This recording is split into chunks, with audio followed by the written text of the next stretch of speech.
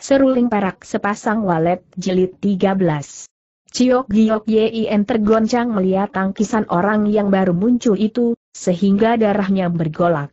Maka pandangannya menjadi gelap dia roboh. Di saat bersamaan orang itu bergerak cepat, segera memapah Ciok Giok Yin agar tidak roboh, kemudian memanggilnya dengan suara gemetar. Adik Yin. Adik Yin Ciok Giok Yin belum pingsan, maka mendengar suara orang yang amat dikenalnya. Barulah dia tahu bahwa orang itu bukan musuhnya. Dia membuka matanya perlahan-lahan, ternyata dirinya berada dalam pelukan Heng Tian Cheng. Timbul rasa duka dalam hatinya, sebab saat ini dia belum mampu menahan tangkisan Heng Tian Cheng, membuktikan bahwa kepandaiannya masih rendah. Lalu bagaimana menuntut balas semua dendam itu? Karena itu tidak mengherankan Chok Giok Yin merasa berduka sekali. Akhirnya bercucuranlah air matanya. Yang membuatnya berduka tidak lain adalah kepandaiannya yang belum dapat menyamai orang lain. Keadaan Chok Giok Yin itu membuat Heng Tiang Cheng cemas sekali. Bagaimana, kau Chok Giok Yin berdiri lalu menghapus air matanya seraya menyahut, tidak apa-apa, Heng Tian Cheng juga berdiri. Tadi aku dengar ada suara tangisan wanita, maka kukira ada penjahat sedang berbuat yang bukan-bukan, maka aku melesat kemari. Tidak tahunya, mendadak Chok Giok Yin membalikan badannya menengok Fang Jiao Chang. Ternyata mata gadis itu telah terpejam dengan wajah pucat dia seperti kertas tiada warna darah sama sekali. Hati Chok Giok Yin tersentak dan dia segera memeriksa nadi gadis itu, ternyata, gadis itu telah mati. Seketika juga Ciok Giok Yin menangis meratap. Moi moi. Moi moi, air matanya berderai-derai membasahi pipinya. Heng Tian Cheng yang berdiri di sampingnya, berkata dengan suara ringan. Adik Yin, dia sudah mati. Tiada gunanya kau terus menangis. Lebih baik kau segera menguburnya, dan berupaya membalaskan dendamnya, Ciok Giok Yin merasa masuk akal apa yang dikatakan Heng Tian Cheng. Dia langsung berhenti menangis dan cepat-cepat mengubur mayat Fang Jiao Chang. Setelah itu dia berdiri diam di hadapan makam itu. Dia sama sekali tidak menangis, tapi justru lebih parah daripada menangis. Beberapa saat kemudian barulah dia berkata, Moi Moi, aku pasti membalaskan dendam. Suatu hari nanti, aku akan membunuh Ban Hoa Tong Chu dan mengorek hatinya untuk menyembayangimu. Usai berkata, dia berkertak gigi hingga berbunyi gemertuk. Heng Tiang Cheng menepuk bahunya seraya berkata lembut.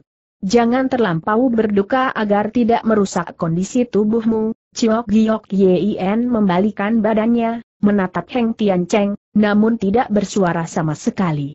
Orang mati tidak bisa hidup kembali. Dia sudah tidak bisa menghiburmu, namun aku bersedia selalu berada di sisimu, Ciok Giok Yen dalam keadaan duka, maka apa yang dikatakan Heng Tiang Cheng itu tidak masuk ke dalam telinganya sama sekali. Lo Chiam Poe, kau, Heng Tian Cheng memutuskan perkataannya, berkata dengan lembut sekali. Jangan panggil aku Lo Chiam Poe, lalu aku harus memanggil apa panggil aku kakak saja, itu, kau tidak segilo Ciam Poe, tingkat kedudukan di dunia persilatan tidak boleh dilanggar, jangan mempermasalahkan itu, selanjutnya kita memanggil kakak dan adik saja, Ciok Giok Yen mengangguk. Mendadak dia teringat akan budi pertolongan Heng Tian Cheng, maka dia tetap tidak berani memanggilnya kakak, sebab merasa tidak sopan. Oleh karena itu, dia berkata, Tempo hari Lo Chiam Pue terpukul jatuh ke bawah tebing oleh ketua perkumpulan Seng Yen Hwee, aku ke bawah mencari Lo Chiam Pue, namun tidak menemukan jejak Lo Chiam Pue, Heng Tiang Cheng langsung melotot seraya menegur, kok masih panggil Lo Chiam Pue. Sungguh tak sedap didengar Lo setelah menegurnya, Heng Tian Cheng melanjutkan. Ketika aku terpukul jatuh, untung ditolong seorang pandai, sehingga nyawaku dapat diselamatkan.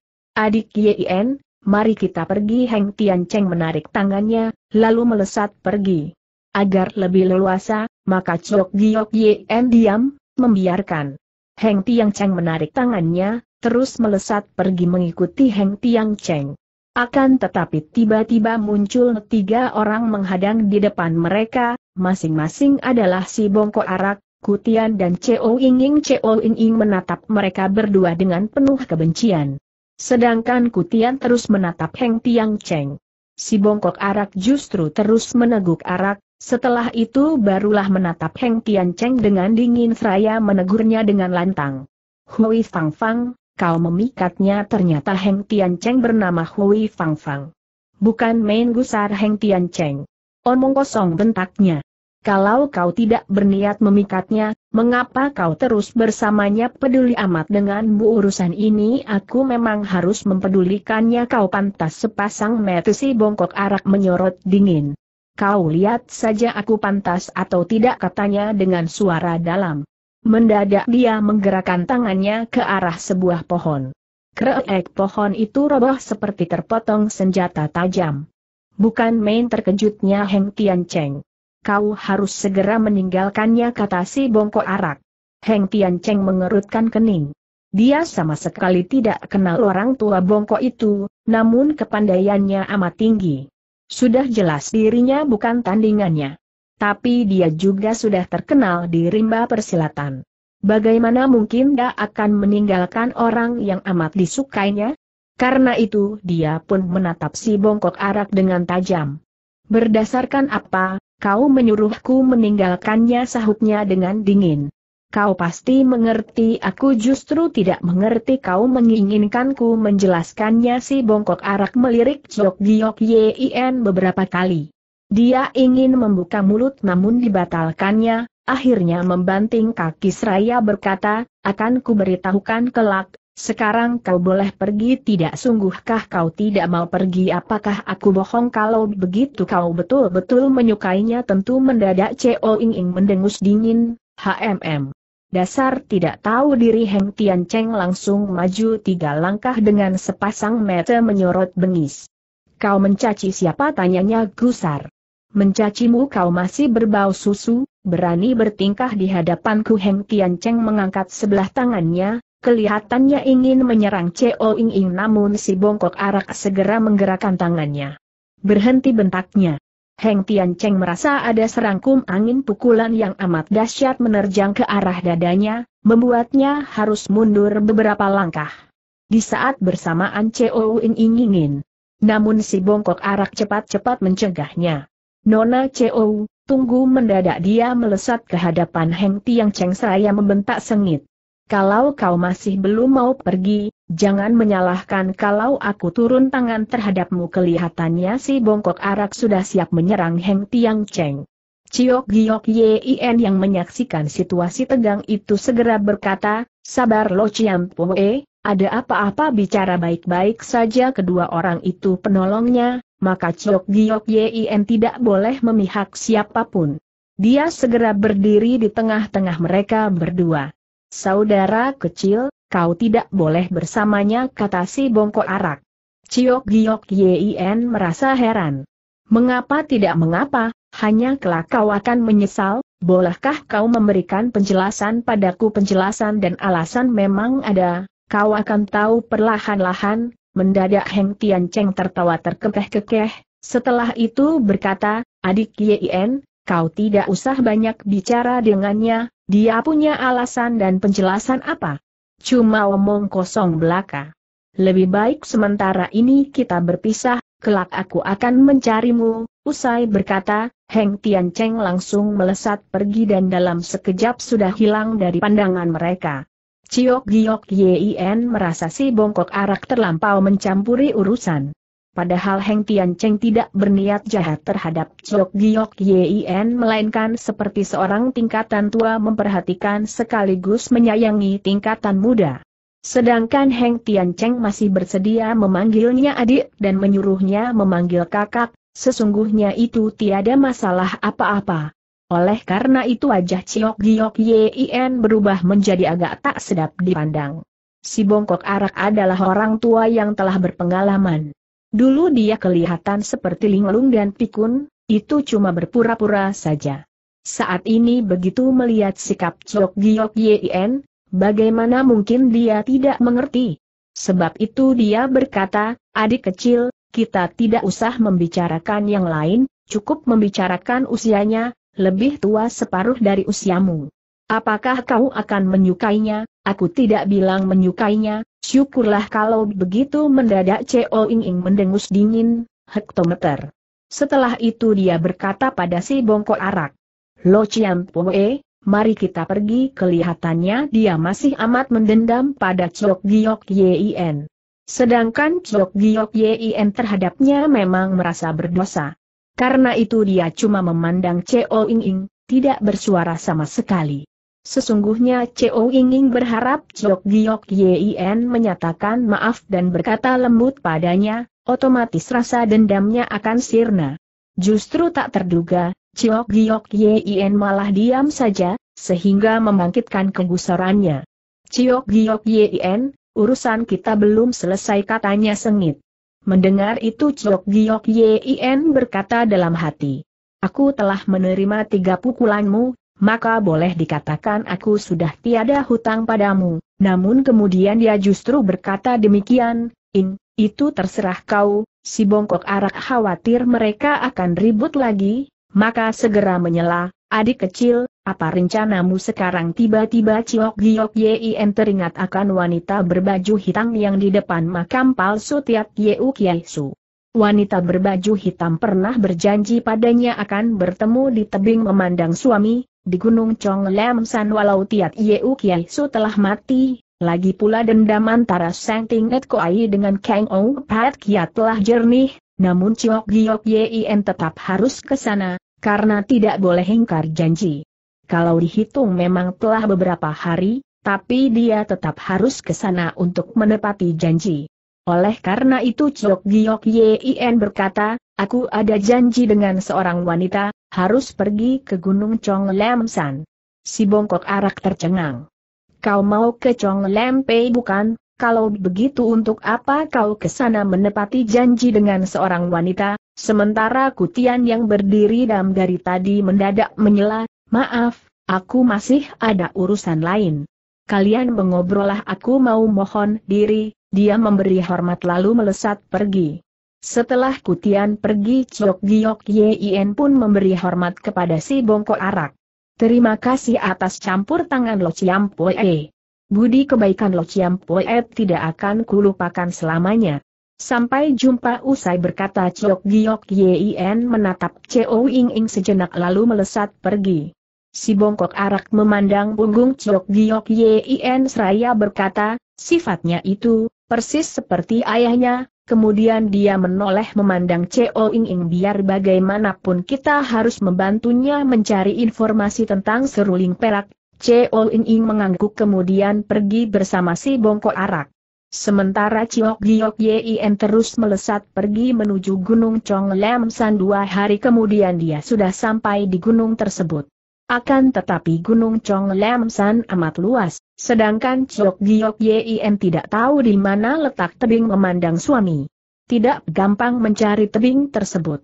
Lagi pula tiada seorang pun di sana. Maka Chok Giok Yin tidak bisa menanyakan tentang tebing tersebut.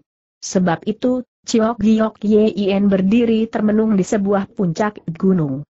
Namun kemudian dia menyadari bahwa dirinya tidak boleh putus asa. Maka dia segera mencari ke sana kemari tentu saja secara membabi buta. Mendadak samar-samar dia melihat sosok bayangan orang berdiri di atas sebuah batu besar. Hatinya tergerak dan berkata, jangan-jangan itu adalah tebing memandang suami tanpa membuang waktu lagi dia langsung melesat ke sana. Begitu sampai di tempat tersebut, dia yakin bahwa tempat itu adalah tebing memandang suami, namun bayangan orang itu sudah tidak kelihatan lagi. Di saat dia menengok ke sana kemari, mendadak terdengar suara helaan nafas panjang dan ucapan. Dia tidak akan datang lagi, itu adalah suara seorang wanita.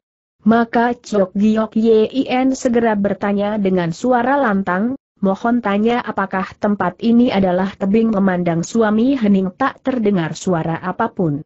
Ciok Giok Yin mengerutkan kening dan bertanya dalam hati. Di sana hutan belantara.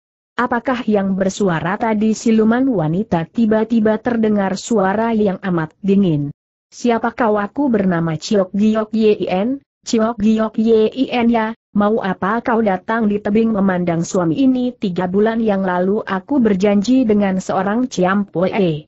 Sebelum Ciok Giok Yin usai berkata, muncul sosok bayangan bagaikan arwah dari balik sebuah batu besar. Setelah saling memandang, justru sama-sama mengeluarkan suara. Ih ternyata seorang wanita berbaju hitam, wanita itu menatap Ciok Giok Yin dengan dingin seraya bertanya, kau baru datang Ciok Giok Yin mengangguk. Ya, karena terjadi sedikit halangan di tengah jalan, maka aku datang terlambat. Mohon Ciampoe Sudi memaafkanku, wanita berbaju hitam menatapnya lagi sambil bertanya, ada urusan apa kau mencari Tiat Yeu Kiai Sukarna ada sedikit kesalahpahaman, kini kesalahpahaman itu telah jernih, air muka wanita berbaju hitam berubah, kelihatannya dia agak emosi. Kalau begitu, kau sudah berhasil mencarinya terus terang aku memang sudah bertemu dengannya, sahut Chok Giok Yin dengan jujur. Wanita berbaju hitam segera melangkah maju. Berada di mana dia sekarang Chok Giok Yin tidak tahu ada dendam kebencian apa antara wanita itu dengan Tiat Yeu Kiaisu, maka segera mundur selangkah mengerahkan WE Kangnya, siap menghadapi segala kemungkinan, kemudian menyaut. Bolehkah aku tahu siapa Ciampoe katakan di mana dia sekarang aku akan mengatakan, namun terlebih dahulu kau harus menyebutkan namamu. Wanita berbaju hitam menatapnya tajam, setelah itu barulah memberitahukan. Cusian Ling Chok Giok Yin terbelalak. Hah? Cusian Ling wanita berbaju hitam mengangguk. Tidak salah. Sekarang kau harus beritahukan tentang jejaknya Matu Chok Giok Yin mulai bersimbah air. Dia sudah mati, Seketika Chu Xianling menyambar baju Chok Giok Yin. Gerakan wanita itu cepat sekali, laksana kilat menyambar. Maka Chok Giok Yin tidak mampu berkelit.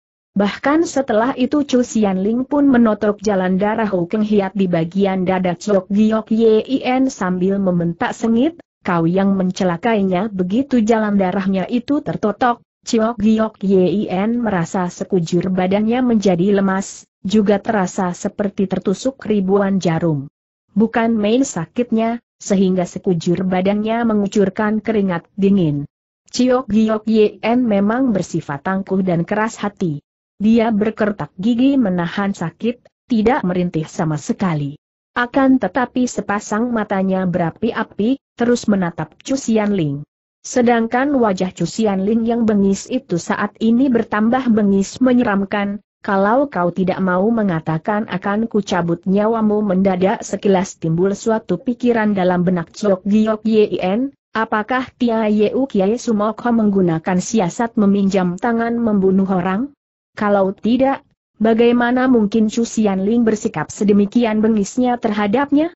Apabila benar demikian, dapat dibayangkan betapa kejamnya hati Tiat Yeu Kiai Sumoko itu.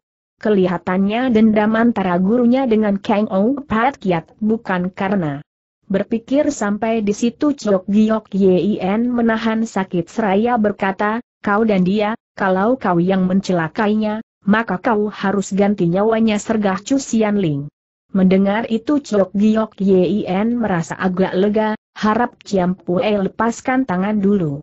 Aku tidak akan kabur dan akan memberitahukan, Chu Ling mengerutkan kening, sepertinya sedang mempertimbangkan sesuatu. Kemudian dia mengendurkan cengkeramannya dan membentak. Cepat katakan Chok Giok Yin cepat-cepat menghimpun hawa murninya.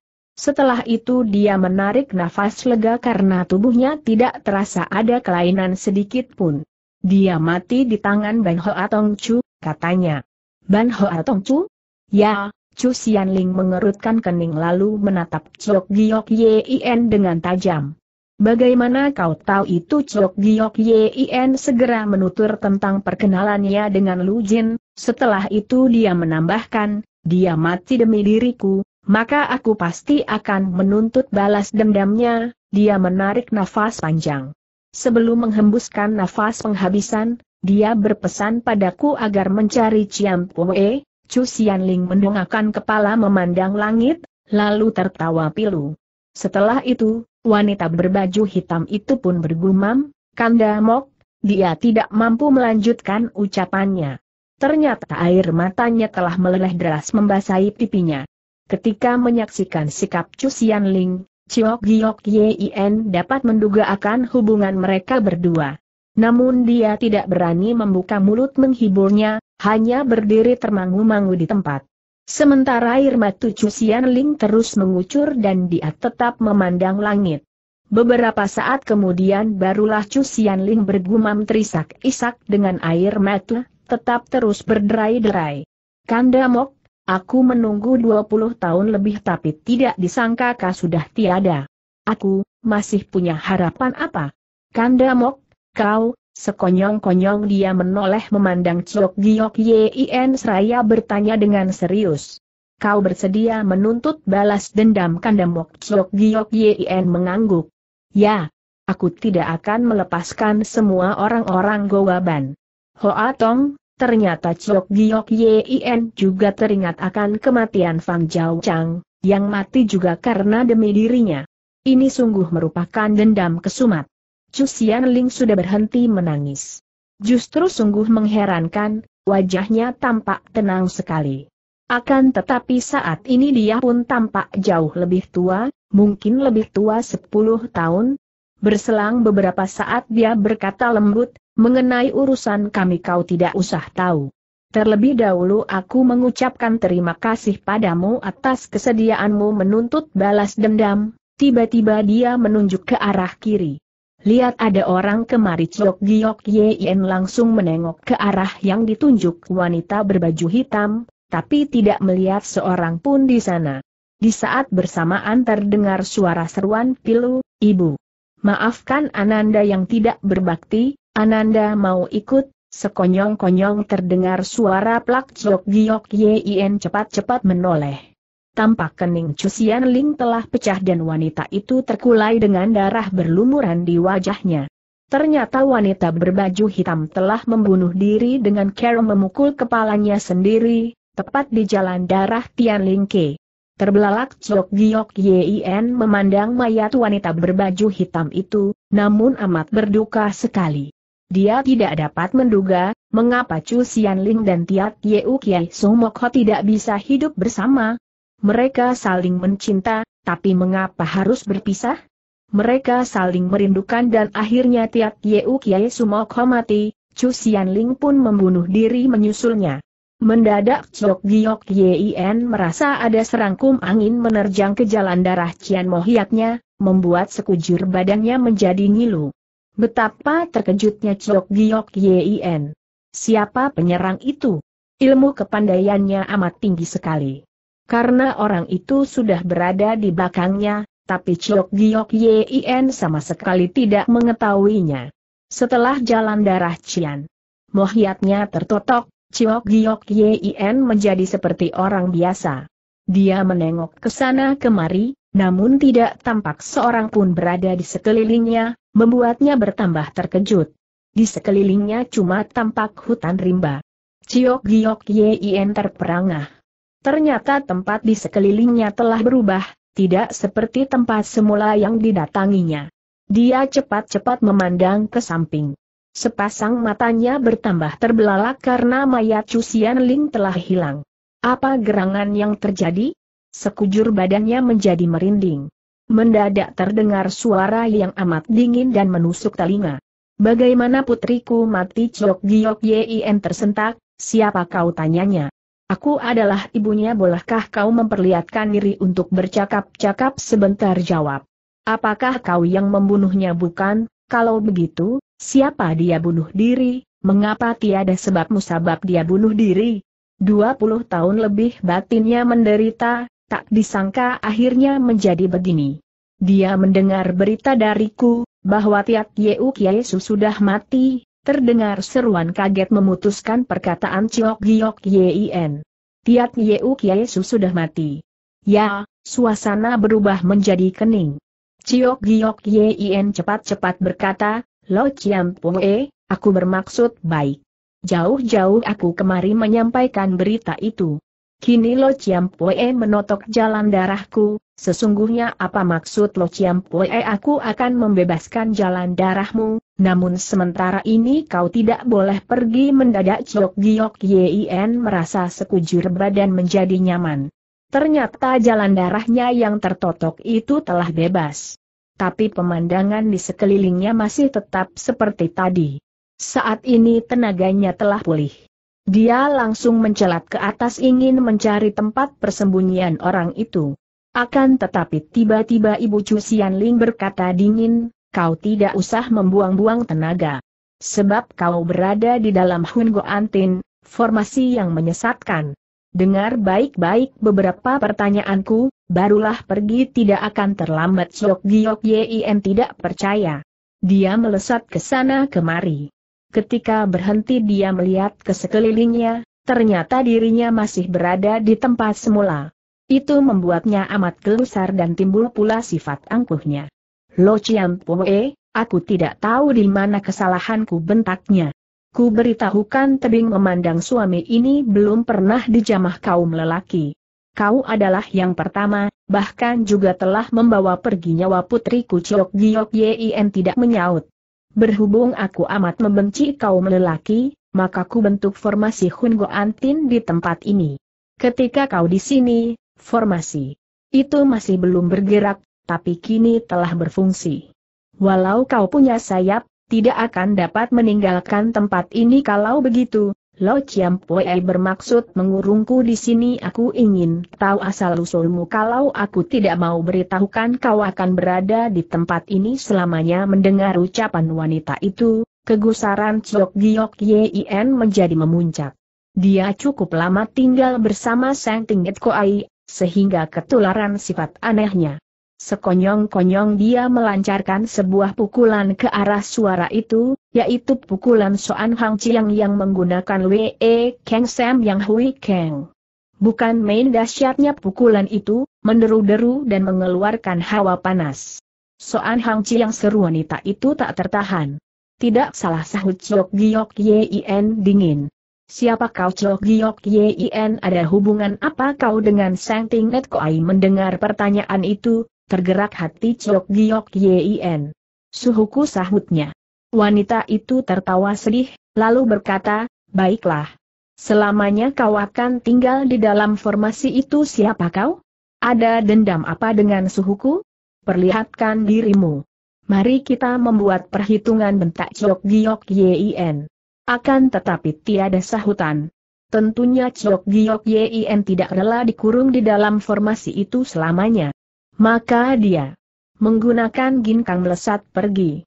Berselang beberapa saat barulah dia berhenti.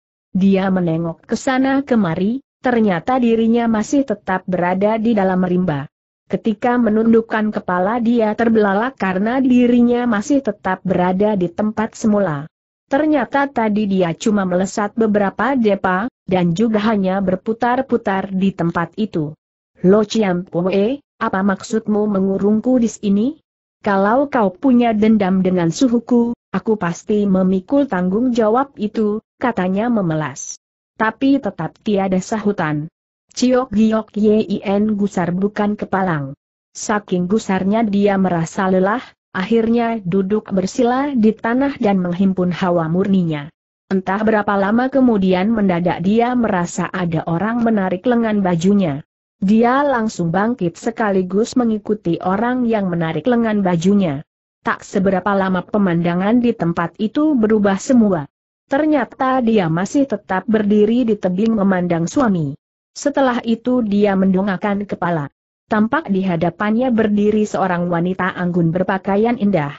Ciok Giok Yen segera memberi hormat seraya berkata, Terima kasih atas pertolongan Ciampoe. Bolehkah aku tahu nama Ciam Poe kelak kau akan mengetahuinya, sahut wanita anggun. Usai menyahut, sepasang mata wanita itu menyorot tajam, menatap Chok Giok Yin dalam-dalam. Ketika beradu pandang dengan mata wanita anggun itu, Chok Giok Yin langsung merasa merinding. Tahukah kau siapa Chu Xianling yang bunuh diri itu? Tanya wanita anggun. Ciok Giok Yin tertegun lalu menggelengkan kepala. Mohon Ciam Pue memberitahukan sahutnya. Wanita anggun tidak menjawab, melainkan balik bertanya. Suhumu adalah Sang Tingnet Koaya, tahukah kau namanya Ciok Giok Yin tertegun lagi. Sejak belajar ilmu kungfu pada Sang Tingnet Koai, Ciok Giok Yin cuma tahu julukannya tidak tahu namanya. Entah sudah berapa kali Ciok Giok Yin bertanya, tapi Sang Tingnet Koai sama sekali tidak mau memberitahukan. Kini wanita itu bertanya, membuat Chok Giok Yin merasa serba salah sehingga wajahnya berubah menjadi kemerah-merahan. Aku, aku tidak tahu, jawabnya terputus-putus. Itu bukan kesalahanmu, sebab seharusnya dia yang memberitahukan, bolehkah Ciam Poe memberitahukan padaku tanya Chok Giok Yin. Dia bernama Chuhek, sahut wanita anggun. Cuhek tidak salah, Ciok Giok Yin mengerutkan kening. Apa maksud Ciam Poe menyinggung nama suhuku tanyanya? Kau harus tahu, Chu Xian Ling adalah putrinya, bukan mari terkejutnya Ciok Giok Yin. Haa? Dia, dia adalah suci, kakak perempuan seperguruan serunya tak tertahan. Kau memang harus memanggilnya demikian. Kening Chok Giok Yin berkerut-kerut. Dia memandang wanita itu seraya bertanya, bolehkah Ciam Pue menjelaskan padaku wanita anggun manggut-manggut? Mengenai suhumu itu, sebetulnya aku tidak kenal, cuma mendengar saja, dengar-dengar ketika masih muda, dia amat tampan, sehingga banyak gadis tertarik padanya. Untung dia bukan pemuda matu keranjang. Pada suatu hari dia terkena racun musuhnya, menyebabkannya kehilangan kesadaran, wanita anggun berhenti sejenak, kemudian menatap wajah Chok Giok Yin, seraya melanjutkan. Waktu itu dia bersama seorang gadis persilatan. Lantaran kehilangan kesadarannya, maka terjadi hubungan intim dengan gadis tersebut. Oleh karena itu dia merasa menyesal dan malu, tiada muka menemui gadis persilatan itu lagi. Akhirnya, dia pergi secara diam-diam, Ciok Giok Yin mendengarkan dengan penuh perhatian. Seusai wanita itu menutur, barulah dia bertanya. Siapa gadis persilatan itu dia adalah Ibu Chu Ling, yaitu orang yang mengurungmu di sini, haa seru Ciok Giok Yin tak tertahan. Wanita anggun melanjutkan penuturannya yang satu pergi lantaran merasa malu dan menyesal, sedangkan yang satu lagi justru hamil. Akhirnya gadis itu hidup menyendiri di tempat ini menunggu kelahiran anaknya, anak itu adalah Suciku NG. Lalu bagaimana urusan Suciku dengan Tiat Yeu Kiai Sumokho setelah Subo, istri guru, mu tinggal di sini, setiap hari dia berharap suhumu kemari mencarinya. Akan tetapi suhumu sama sekali tidak muncul. Apabila suhumu datang, dia akan mengurung suhumu di dalam formasi ini, wanita anggung menghela nafas panjang, setelah itu melanjutkan. Subomu juga melarang putrinya berkelana di dunia persilatan. Mereka berdua tinggal di tebing memandang suami ini. Sudah pasti Subomu yang menamai tebing ini. Akan tetapi segala urusan di kolong langit memang sulit diduga. Pada suatu hari, Chu Xianling bermohon pada ibunya agar memperbolehkannya ke dunia persilatan untuk melihat-lihat.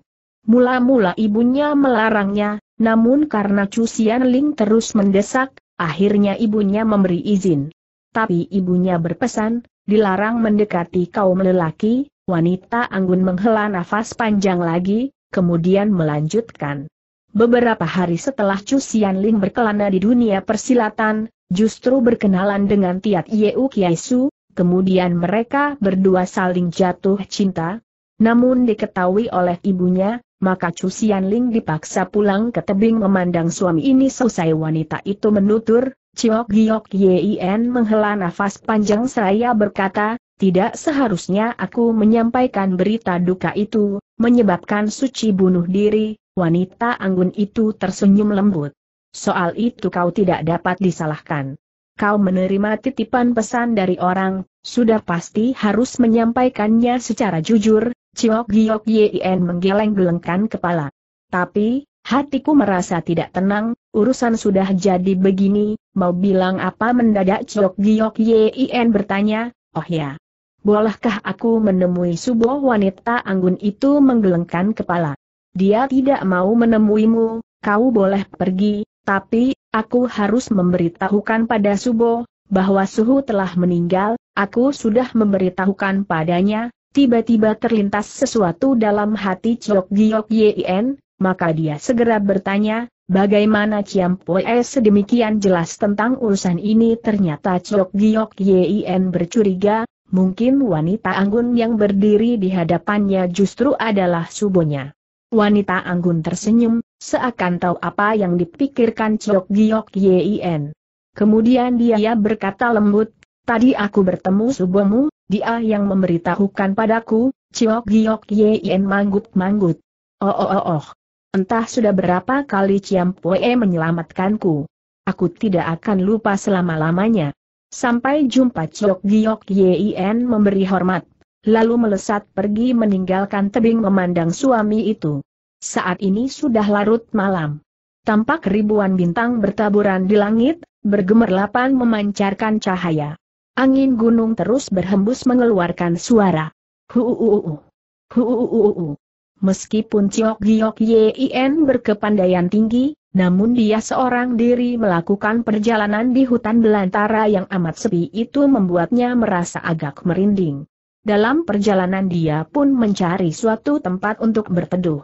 Esok pagi dia baru melanjutkan perjalanan.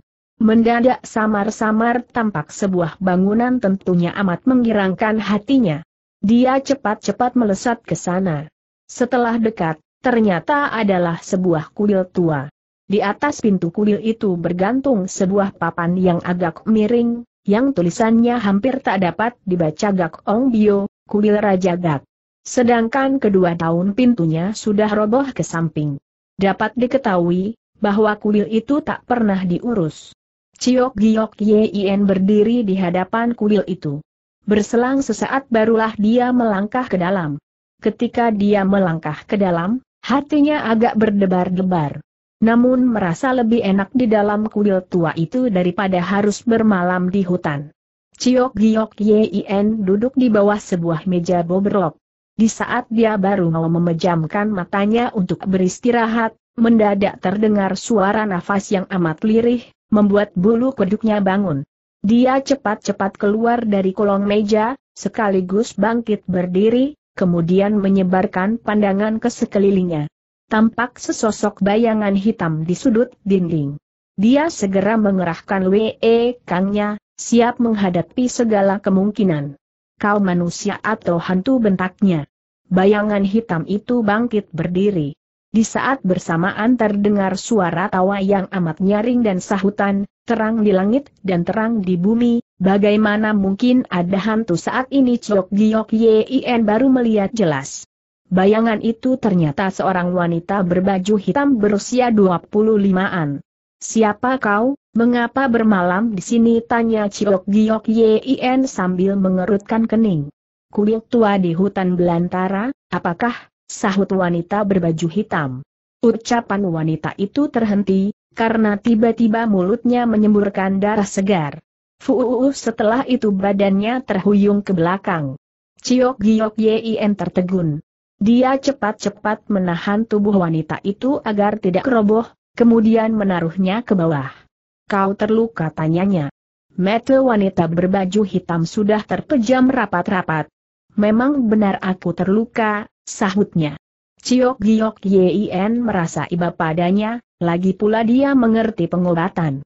Maka dia segera mengeluarkan dua butir Chok Kim Tan, lalu diberikan pada wanita itu. Telanlah pil ini, aku akan membantumu wanita berbaju hitam menatapnya sejenak, setelah itu menjulurkan tangannya mengambil kedua pil Ciak Kim Tan itu, lalu dimasukkan ke dalam mulutnya. Di saat bersamaan, Ciok Giok Yen segera menempelkan telapak tangannya pada punggung wanita itu seraya berkata, Himpun hawa murnimu aku akan membantumu Ciok Giok Yen juga menghimpun hawa murninya, untuk membantu wanita berbaju hitam. Berselang beberapa saat luka wanita berbaju hitam sudah pulih. dia menoleh memandang Chok Giok Yin seraya bertanya, apakah kau Chok Giok Yin? Chok Giok Yin terperangah, menatapnya seraya berkata dengan heran. Tidak salah, mohon tanya, wanita berbaju hitam memutuskan perkataan Chok Giok Yin. Jangan bertanya, kelak kita masih punya kesempatan untuk berjumpa, dan kau pun akan tahu. Mengenai budi pertolonganmu, cepat atau lambat aku pasti membalaskan, sampai jumpa badan wanita itu bergerak, ternyata dia sudah melesat pergi. Sedangkan Chok Giok Yin berdiri mematung. Dia tidak habis pikir siapa wanita baju hitam itu. Bagaimana dia tahu namanya? Dan siapa yang memukainya? Di dunia persilatan memang terdapat banyak hal aneh, Ciok Giok Yin membantunya dengan hawa murni agar dia segera pulih, namun wanita baju itu malah tidak mau memberitahukan namanya. Sungguh keterlaluan. Ciok Giok Yin terus berpikir. Tak lama hari pun mulai terang. Saat ini Ciok Giok Yin tidak mau memikirkan tentang wanita lagi, langsung melesat pergi. Kini dia membulatkan hatinya untuk mencari seruling perak. Mengenai kitab cucian, Ciok Giok Yin yakin dan percaya kepada Butok Sian Seng.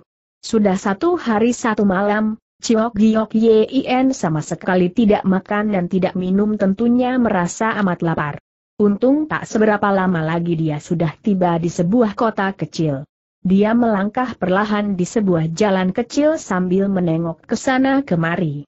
Ketika hampir tiba di ujung jalan, dia melintas sebuah kedai makan.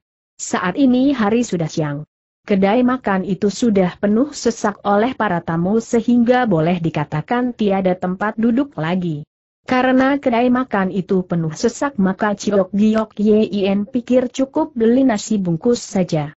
Akan tetapi, pemilik kedai makan segera berkata, silakan masuk, Tuan. Aku akan menyediakan tempat untuk Tuan. Ciok Giok Yin manggut-manggut, kemudian memandang ke dalam. Ternyata seorang tamu sudah usai makan, berdiri sambil membayar kening. Pemilik kedai makan langsung membawa Chok Giok Yin ke meja itu lalu mempersilakannya duduk. Salah seorang pelayan cepat-cepat menghampirinya, maka Chok Giok Yin memesan beberapa macam hidangan. Setelah itu Chok Giok Yin memperhatikan para tamu. Beberapa orang di antaranya seperti kaum rimba persilatan. Mendadak terdengar pembicaraan beberapa tamu yang kedengarannya agak serius. Maka Chok Giok Yin mendengarkan dengan penuh perhatian. Pahong Chuang Chuang Chu, majikan perkampungan Raja Jagoan, merayakan perkawinan putra kesayangannya, mengundang kaum rimba persilatan, baik golongan putih maupun golongan hitam, itu pasti ramai dan meriah sekali, aku dengar perjodohan itu merupakan perjodohan paksaan, jangan bicara sembarangan ketika berkata orang itu melirik semua tamu. Begitu melihat Chok Giok Yin, orang itu menatapnya sejenak, kemudian berkata pada kedua temannya. Lebih baik kita minum arak saja. Peduli amat dengan urusan itu. Perjodohan paksa atau tidak, bukan urusan kita. Yang penting, malam ini kita pergi makan minum saja, kau siap ke sana tentu, punya undangan tidak punya, namun juga boleh ke sana karena aku ingin melihat kau merimba persilatan golongan putih dan golongan hitam. Siapa tahu mereka akan memperlihatkan kepandaian masing-masing. Bukankah asik sekali kebetulan saat ini hidangan-hidangan yang dipesan Chok Giok? Yin telah disajikan dia mulai makan sambil mendengarkan pembicaraan mereka. Akan tetapi ketiga orang itu sudah mengalihkan pembicaraan. Ciok Giok Yin berkata dalam hati, ini merupakan kesempatan baik, mengapa aku tidak ke sana? Siapa tahu aku akan memperoleh informasi tentang seruling perak itu usai makan dan membayar Ciok Giok Yin mengajukan beberapa pertanyaan kepada pemilik kedai makan, lalu pergi menuju pinggir kota. Ciok Giok Yin mengikuti petunjuk pemilik kedai makan. Ketika sampai di jalan yang agak kecil, dia melihat begitu banyak kaum rimba persilatan berjalan ke arah yang sama. dia tahu mereka pasti menuju perkampungan Pahong Chuang, untuk minum arak kebahagiaan di sana. Ciok Giok Yin mengikuti mereka dari belakang, ingin mencuri dengar pembicaraan mereka. Hasilnya memang benar Pahong Chuang Chuang Chu menyelenggarakan pesta perkawinan putra kesayangannya. Berdasarkan pembicaraan mereka, Ciok Giok Yin baru tahu bahwa putra Chuang Chu berbadan bongkok dan hanya memiliki sebelah kaki. Berselang beberapa saat, tampak sebuah rumah yang amat besar dengan beberapa lentera merah dan begitu banyak orang keluar masuk di sana. Terdengar pula suara petasan yang memekakkan telinga, menambah semarak suasana di perkampungan itu. Ciok Giok Yin mengikuti para tamu itu melangkah memasuki perkampungan sambil menengok ke sana ke Men. Matanya agak terbelalak karena melihat halaman yang amat luas. Itu membuktikan bahwa majikan perkampungan Pahong Cuang tergolong orang yang kaya raya. Ruang depan pun amat luas, penuh dengan meja kursi dan para tamu, sehingga kedengaran agak terbisik. Di tengah-tengah ruang itu terlihat seorang tua. Wajahnya berseri-seri dan terus menjura kepada para tamu, sekaligus mempersilakan mereka ke tempat duduk masing-masing. Karena Ciok Giok Yin tidak begitu terkenal, maka dia memperoleh tempat duduk di sudut ruangan. Tanpa sengaja dia melihat beberapa anggota perkumpulan Seng Yen Hwee, karena bagian depan baju. Mereka bersulam sepasang burung walet. Begitu melihat anggota-anggota perkumpulan itu, rongga dadanya menjadi penuh api kegusaran. Namun dia tidak berani bertindak ceroboh, sebab hari ini adalah hari perkawinan putra perkampungan Pahong Cuang. Bila ia bertindak ceroboh, akan membangkitkan kemarahan para tamu. Mendadak dia mendengar seorang tamu berkata, mempelai perempuan bernama Ie Ling Ling, Ciok Giok Yin tersentak mendengar itu. Kemudian dia bertanya dalam hati, apakah dia ternyata dia teringat akan pesan Cak Hun Chiu. Sebelum mati Cak Hun Chiu menjodohkan putrinya yang bernama Ie Ling Ling dengan Ciok Giok Yin. Apakah mempelai perempuan itu adalah dia? Cak Hun Chiu memberitahukan padanya, bahwa Ie Ling Ling kehilangan jejak, jangan-jangan gadis itu tertangkap orang-orang perkampungan Pahong Chuang. Kehadiran beberapa anggota perkumpulan Seng Yen Hui itu membuktikan bahwa majikan perkampungan Pahong Chuang bukan tergolong orang baik-baik. Karena itu, Ciok Giok Yin menoleh ke samping lalu bertanya pada seorang tamu berusia pertengahan. Mempelai perempuan itu bernama Ieling Ling orang itu mengangguk. Dengar-dengar ya, orang berasal dari mana orang itu menggelengkan kepala tentang itu tidak begitu jelas, Ciok Giok Yin merasa tidak enak untuk bertanya lagi. Namun diam-diam dia mempertimbangkan dalam hati. Kalau benar mempelai perempuan itu adalah Ie Ling lalu apa yang harus dilakukannya? Apakah harus turun tangan merebutnya? Ciok Giok Yin tidak dapat mengambil keputusan, sebab dia belum pernah bertemu Ie Ling Ling calon istrinya itu. Apabila salah rebut, pasti fatal akibatnya. Di saat Ciok Giok Yin sedang bimbang mengambil keputusan, mendadak tercium bau arak yang amat keras. Ciok Giok Yin segera menoleh ke samping. Sungguh di luar dugaan si bongkok arak telah duduk di sampingnya dan Ciok Giok Yin langsung memberi hormat sambil bertanya. Lo Chiam Pue juga kemari si bongkok arak menatapnya dengan mata dipicingkan lalu balik bertanya. Apakah kau masih ingat akan pesan Cak Hun Ciu hati Ciok Giok Yin tergerak? Ingat, kalau begitu kau terus bagaimana justru masih dalam pertimbanganku, Ciok Giok Yin mengerutkan kening. Lo Chiam Pue pernah dengar apa yang dikatakan Cak Hun Chiu padaku si bongkok arak menggelengkan kepala. Aku sama sekali tidak pernah mendengarnya. Melainkan orang lain yang memberitahukan padaku, di saat mereka berdua sedang bercakap-cakap, Mendadak salah seorang tamu yang duduk di dekat mereka menghela nafas panjang saya berkata, sungguh kasihan gadis cantik jelita itu. Dia harus menikah dengan seorang cacat yang menyerupai siluman. Sayang sekali di dunia persilatan sudah tiada keadilan lagi, tiada seorang. Pendekar pun yang mau mengulurkan tangan menolongnya. Ciok Giok Yin memandang orang yang berkata itu. Ternyata orang yang berdandan sastrawan berusia empat puluhan. Sepasang mata Ciok Giok Yen langsung menyorot dingin. Kemudian bangkit berdiri dan bertanya dengan suara dalam. Apa maksud Anda aku berkata seorang diri tidak ada urusan denganmu, yang kau katakan tadi adalah Ie Ling Ling, mempelai perempuan itu sastrawan itu tampak tertegun. Tentu, dia adalah tunanganku, pasti aku akan menolongnya, sastrawan itu tertegun lagi. Sepasang bola matanya berputar sejenak, kemudian dia bertanya dengan suara rendah, Saudara kecil, sungguhkah kau punya nyali sebesar itu Ciok Giok Yen mengangguk. Tentu, kini Ciok Giok Yen sudah yakin bahwa mempelai perempuan itu pasti Ie Ling Ling. Baik, akan ku pertaruhkan seribu tael perak, lihat kau punya nyali sebesar itu apa tidak untuk menolong mempelai perempuan itu, kata si sastrawan.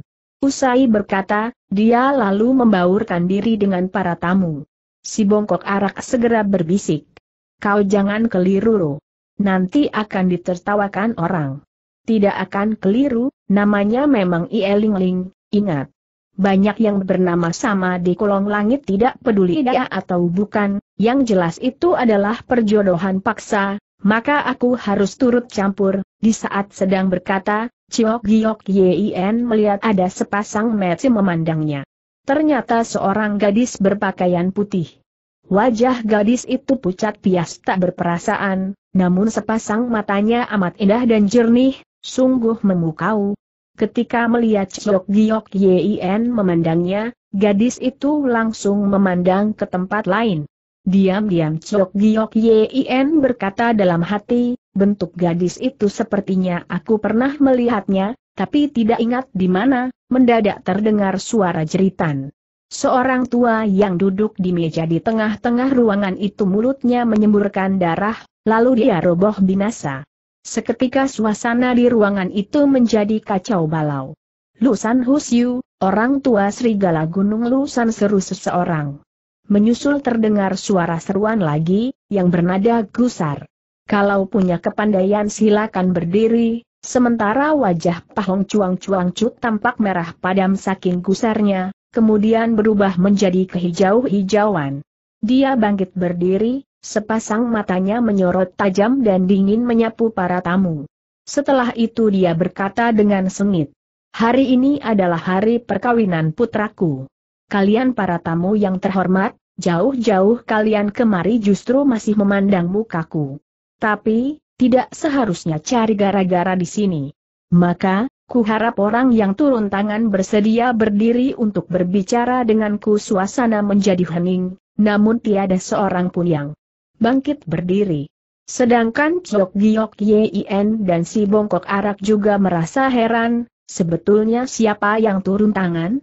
Pahong Cuang Cuang Cu kelihatan semakin gusar, kalau tiada yang mau mengaku, seusai upacara perkawinan putraku, aku akan melakukan penyelidikan bentaknya. Di saat bersamaan salah seorang maju ke hadapan Pang Ong Cuang Cuang Cu seraya berkata, Cuang Cu, sudah waktunya upacara Pang Ong Cuang Cuang Cu mengerutkan kening, kemudian berseru. Upacara dimulai saat ini mayat Lu San Husyu sudah digotong keluar. Sedangkan Chok Giok Yin ketika mendengar seruan majikan perkampungan Pahong Chuang, sekujur badannya menjadi gemetar. Dia bangkit berdiri lalu memandang ke tengah ruangan. Tampak seorang pemuda berpakaian pengantin berjalan ke tempat upacara. Dia memang bongkok, mulutnya agak miring dan hanya memiliki sebelah kaki. Maka tidak heran ketika berjalan dia harus memakai tongkat penyanggah di bawah ketiaknya tangannya memegang sehelai kain merah, diikuti mempelai wanita juga memegang ujung kain merah itu. Wajahnya ditutupi kerudung merah dan tampak dua pelayan mendampinginya. Karena wajahnya tertutup kerudung merah, maka Chok Giok Yin tidak melihat wajahnya. Pandangan para tamu yang ada di ruangan itu semuanya tertuju pada mempelai lelaki. Dalam hati para tamu semuanya berkata, sekuntur bunga indah justru ditancapkan di atas tahi kebau, memang tidak salah. Sebab mempelai lelaki itu bertampang buruk, bongkok, mulutnya miring, tidak mengerti ilmu silat dan kalau berbicara suaranya sumbang. Akan tetapi majikan perkampungan Pahong Cuang amat kaya dan berkuasa, maka dia berupaya menikahkan putra kesayangannya itu. Saat ini kedua mempelai sudah berdiri berhadapan di tengah-tengah ruangan. Terdengar seruan lantang si pembawa acara. Mempelai lelaki dan mempelai perempuan, seruan itu terputus karena mendadak terdengar suara bentakan mengguntur. Tunggu tampak sosok bayangan berkelebat ke tempat upacara. Siapa orang itu, tidak lain adalah Chok Giok Yin. Dia tidak sabar lagi ketika melihat tunangannya akan resmi menjadi istri orang lain maka langsung membentak sambil melesat ke tempat upacara. Setelah sampai di sana dia langsung menyambar mempelai wanita sekaligus membawanya pergi. Seketika kacaulah suasana di tempat itu. Sedangkan majikan perkampungan Pahong Cuang sama sekali tidak menduga ada orang berani merebut mempelai wanita di hadapannya. Dapat dibayangkan betapa gusarnya majikan perkampungan itu. Bocah, siapa kau bentaknya sengit. Ciok Giok Yin berhenti, lalu berkata dalam hati, aku harus datang dengan bersih, pergi secara jelas, dengar baik-baik, mempelai wanita ini adalah tunanganku, namun kalian berani memaksanya menikah. Kalian sudah jelas usai menyahut, Ciok Giok Yin mengempit mempelai wanita lalu melesat pergi. Majikan perkampungan Pang Ong Chuang segera membentak. Cepat halangi dia tampak beberapa bayangan orang berkelebat lalu melayang turun menghadang di depan Ciok Giok Yin. Ciok Giok Yin, kau masih ingin kabur bentak salah seorang dari mereka. Di saat bersamaan Chok Giok Yin merasa ada dua rangkum angin pukulan menerjang ke arahnya. Dia mengerutkan kening sambil menoleh, ternyata dua anggota perkumpulan Seng Yen Hui E. Seketika kegusaran Chok Giok Yin memuncak. Dia mengempit Ieling Ling erat-erat, kemudian sebelah tangannya melancarkan pukulan menangkis. Terdengar suara menderu-deru dan pukulan yang dilancarkannya juga mengandung hawa panas. Kedua anggota perkumpulan Seng Yen Hui itu kelihatannya tahu akan kelihayan pukulan itu, maka mereka segera berkelit ke arah samping. Justru di saat bersamaan, I Eling Ling meronta-ronta, memukul dan menggigit lengan Chok Giok Yin. Apa boleh buat Chok Giok Yin terpaksa menotok jalan darahnya agar diam. Bersamaan itu sudah muncul beberapa orang menghadang di depan Chok Giok Yin. Majikan perkampungan Pahong Cuang juga sudah berdiri di situ dengan sepasang matanya menyorot dingin. Bocah jahanam, cepat lepaskan dia bentaknya. Tidak. Sebab dia adalah tunanganku tindakan Chok Giok Yin membuat para tamu merasa tidak senang. Siapa kau tanya salah seorang tamu? Ciok Giok Yin begitu mendengar nama tersebut, majikan perkampungan Pahong Cuang tertawa gelak. Ternyata kau, belum lama ini kau membuat dunia persilatan menjadi tidak tenang. Serahkan nyawamu bentaknya sambil melancarkan pukulan. Ciok Giok Yin sudah siap menangkis pukulan itu, akan tetapi mendadak telinganya menangkap suara yang amat lirih kau cepat pergi, buat apa bertarung dengan mereka di saat bersamaan tampak sosok bayangan putih meluncur ke tempat itu bagaikan kilat, kemudian menerjang ke sana kemen membuat orang-orang menyingkir ke samping. Ciok Giok Yin tidak berlaku ayah lagi. Dia memanfaatkan kesempatan itu menerobos keluar. Terdengar suara-suara seruan di belakangnya. Kejar jangan sampai bocah itu lobos makin lama suara seruan itu makin jauh, akhirnya tak terdengar sama sekali. Namun Chok Giok Yen masih terus melesat. Tak lama tampak sebuah rimba di hadapannya. Dia langsung melesat ke dalam rimba itu, kemudian menaruh Ieling Ling ke bawah. Sedangkan Ieling Ling menatapnya dengan mata tak berkedip, ternyata kerudung merah yang menutupi mukanya telah terlepas, sehingga tampak wajahnya yang amat cantik. Akan tetapi di balik wajah cantik itu tersirat berbagai macam perasaan. Perasaan benci, gusar atau gembira? Tiada seorang pun tahu. Sedangkan hati Chok Giok Yin juga berdebar-debar. Dia berkata dalam hati, benarkah dia adalah Ieling Ling? Kalau benar, Lalu harus bagaimana menjelaskan padanya Ciok Giok Yin merasa serba salah. Tiba-tiba dia teringat sesuatu, maka langsung menjulurkan tangannya membebaskan jalan darah Ie Ling Ling, kemudian berkata terputus-putus. Ling, Ling, dia tidak tahu harus bagaimana memanggil gadis itu. Maka dia tidak melanjutkan ucapannya, melainkan berdiri tertegun di tempat. Kini Ieling Ling sudah bisa bergerak. Justru mendadak dia mengayunkan tangannya ketika bangkit berdiri. Seketika terdengar suara plak. Pipi ciok giok yin kena tampar sehingga merah membengkak.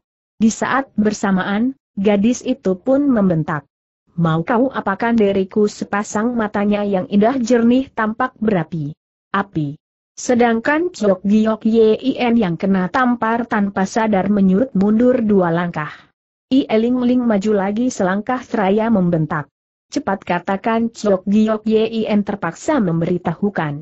Setahun yang lalu ayahmu menjodohkanmu pada, omong kosong sergah I Eling Ling. Aku berkata sungguh-sungguh, kata Chok Giok Yin perlahan-lahan. I Eling Ling tertawa dingin, selama belasan tahun ayahku terus berbaring di tempat tidur, tidak pernah meninggalkan rumah. Bagaimana mungkin ayahku menjodohkanku padamu? Kau adalah iblis seks. Aku akan mengadu nyawa denganmu mendadak dia memukul Chok Giok Yin. Ciok Giok Yin bertambah tertegun mendengar itu. Dia segera menangkapi Eling Ling. Sabar Nona, aku ingin bicara sebentar, katakan apakah ayahmu di dunia persilatan dijuluki Cak Hun Chiu sepasang mata Eling Ling membara, kentut Chok Giok Yin terbelalak, sebab sikapi Eling Ling amat kasar, dan tutur bahasanya juga tidak sopan. Itu membuatnya menjadi bimbang. Apakah itu tidak benar tentu? Harap Nona Sudi menjelaskan julukan ayahku di dunia persilatan adalah Tan Chiang Keng Tian, Sebelah tangan mengejutkan langit, Yeu Kang, haah? Kalau begitu, margamu bukan IE seru Ciok Giok Yin tak tertahan. Siapa bilang aku bermarga IE sahut gadis itu ketus. Kalau begitu, aku bermarga Yeu, itu membuat Ciok Giok Yin terbelalak dan mulutnya ternganga lebar, sebab nada IE dan Yeu memang hampir sama. Kini Ciok Giok Yin telah melakukan kesalahan. Lalu harus bagaimana memperbaikinya? Ciok Giok Yin berdiri termangu-mangu, tidak tahu harus berkata apa. Justru di saat bersamaan, tampak sesosok bayangan berkelebat ke tempat itu bukan main cepatnya. Begitu melihat kemunculan orang itu, Nona Yeu langsung mendekap di dadanya, dan isak tangisnya pun meledak seketika.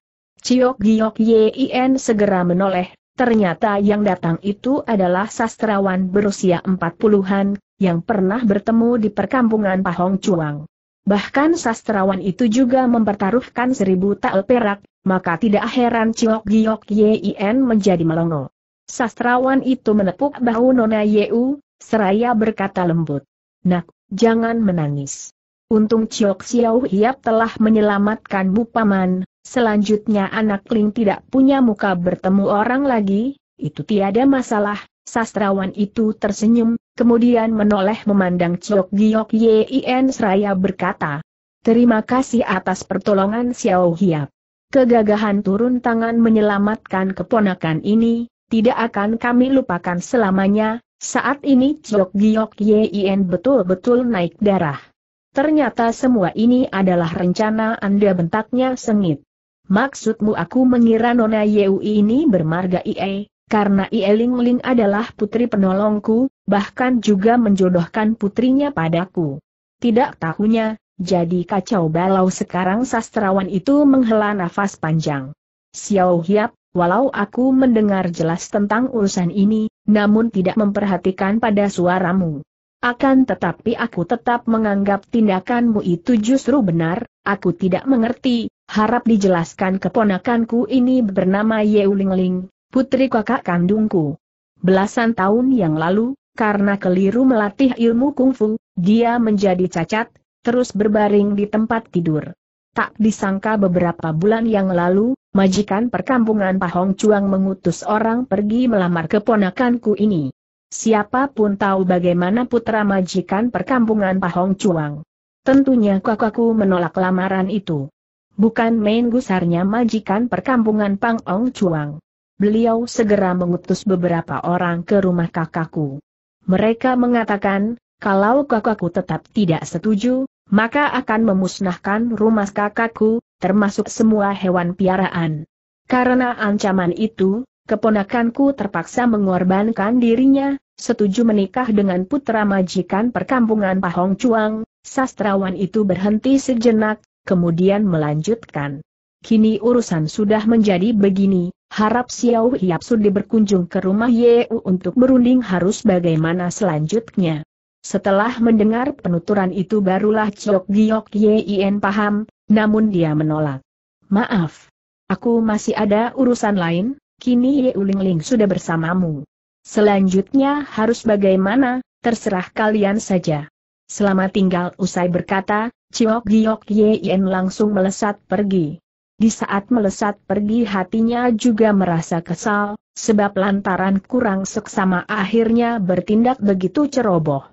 Padahal dia ingin mencari informasi tentang seruling perak di perkampungan tersebut, namun sebaliknya malah bertindak ceroboh, sehingga menambah seorang musuh tangguh.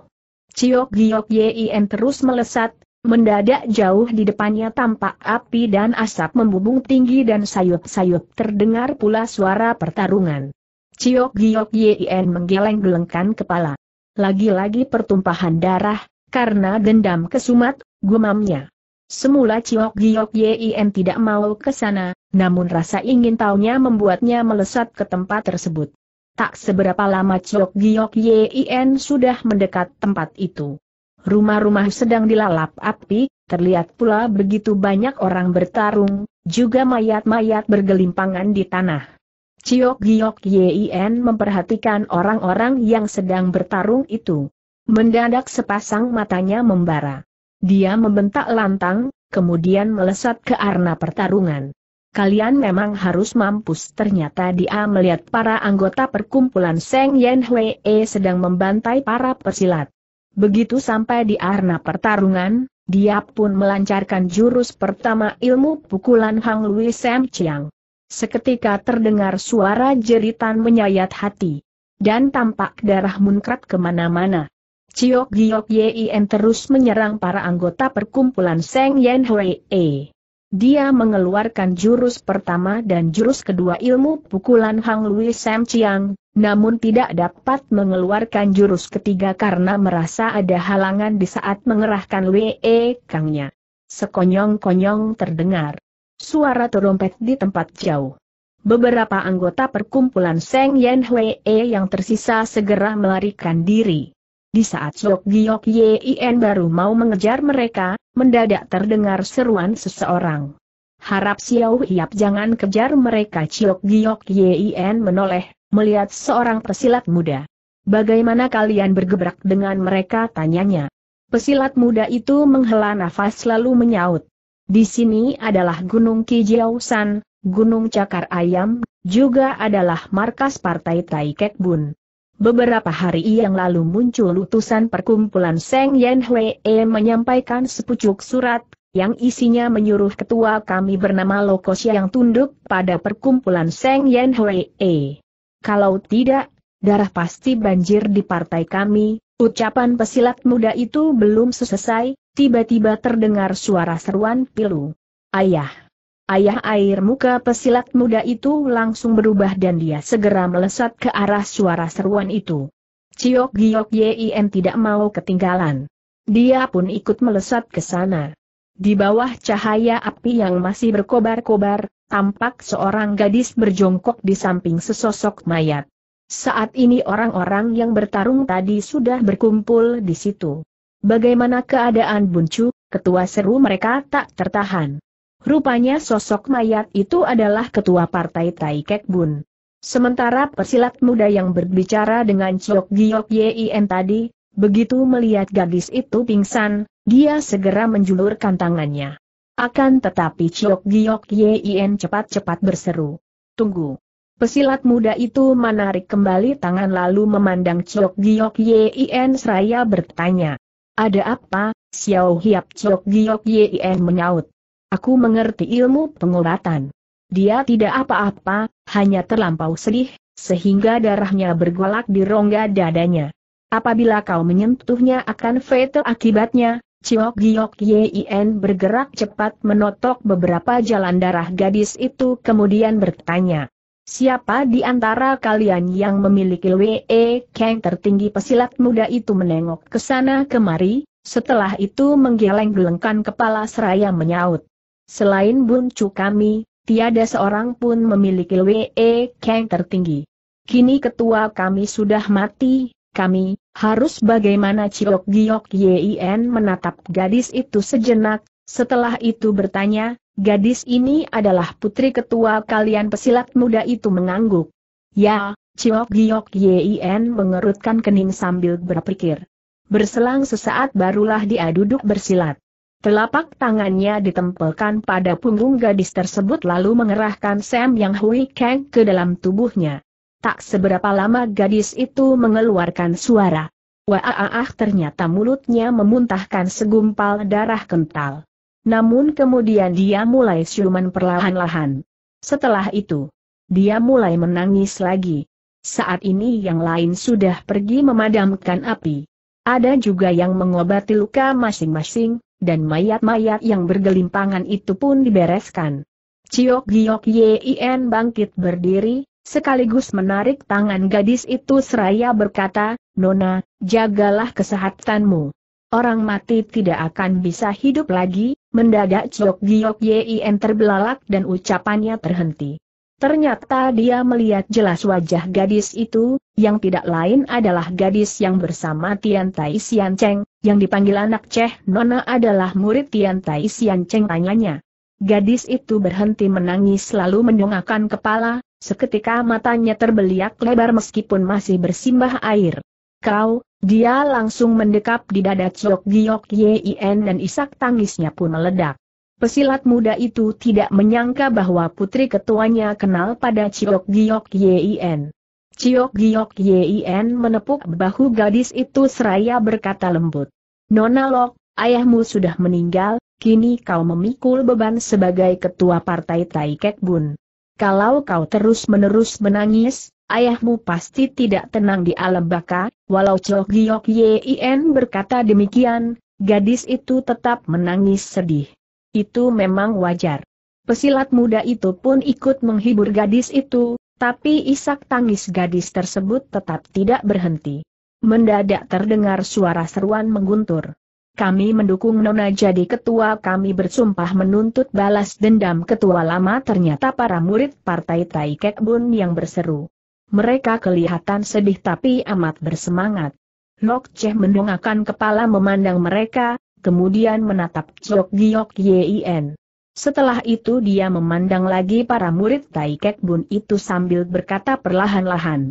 Aku tidak pantas jadi ketua, Nona harus menerima beban itu, kau tidak boleh melihat partai Taikek Bun jadi bubar. Setelah dendam ayahmu terbalas kau masih bisa memilih ketua baru kan kalau begitu kau bersedia tinggal di sini membantu kami sahut Lok Cheng terisak-isak. Aku masih ada urusan lain, kalau ada kesempatan aku pasti kemari menengokmu, Ciok Giok Yen menjura. Harap Nona jaga diri baik-baik, selamat tinggal tambahnya lalu melesat pergi. Tunggu seru Lok Cheh sambil melesat menyusul Ciok Giok Yin. Ciok Giok Yin segera berhenti lalu membalikan badannya seraya bertanya. Nona ada pesan apa Lok Cheh menatapnya sejenak, kemudian menyaut. Antara suhuku dan kau kelihatannya seperti terdapat dendam yang amat dalam. Apabila bertemu suhuku, harap kau berhati-hati bolehkah Nona menjelaskannya Lok Cheh menggeleng kepala, Mengenai itu aku memang tidak begitu jelas, tapi suhuku telah memberi perintah pada kami semua, harus bisa menangkap hidup-hidup atau membunuhmu. Ciok Giok Yin mengerutkan kening lalu menatap gadis itu seraya bertanya. Betulkah begitu gawat ya? Karena itu kau harus lebih berhati-hati, Ciok Giok Yin menjura. Terima kasih atas petunjuk Nona, jaga dirimu baik-baik, Sampai jumpa katanya lalu melesat pergi. Lok Ceh terus memandang punggungnya hingga lenyap dari pandangannya. Beberapa saat dia berdiri termangu-mangu. Akhirnya dia mengambil keputusan, harus meneruskan kedudukan almarhum ayahnya sebagai ketua partai Taikek Bun, lalu berupaya menuntut balas kematian ayahnya. Sementara itu Chok Giok Yin terus melesat dengan perasaan tercekam. Dia tidak habis pikir, ada dendam apa antara dirinya dengan Tian Tai Sian Cheng? Mengapa Tian Tai Sian Cheng sedemikian membencinya? Apakah Tian Sian Cheng punya dendam dengan suhunya? Ataukah punya dendam dengan kedua orang tuanya? Akan tetapi mengenai kedua orang tuanya, kecuali si Bongkok Arak dan Teh Heng Kei, kaum rimba persilatan lain tidak ada yang tahu, bahkan dirinya sendiri pun tidak tahu jelas. Lalu mengapa Tian Tai Sian Cheng sedemikian membencinya? Ciok Giok Yin terus berpikir, tapi tidak menemukan jawabannya. Di saat dia sedang berpikir, mendadak dua sosok bayangan meluncur bagaikan kilat ke arahnya. Itu membuatnya terkejut sekali.